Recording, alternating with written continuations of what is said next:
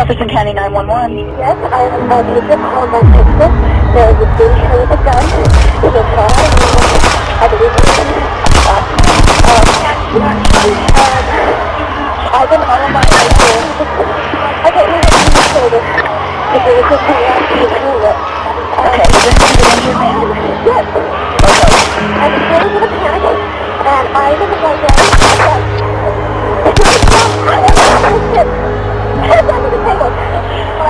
Thank.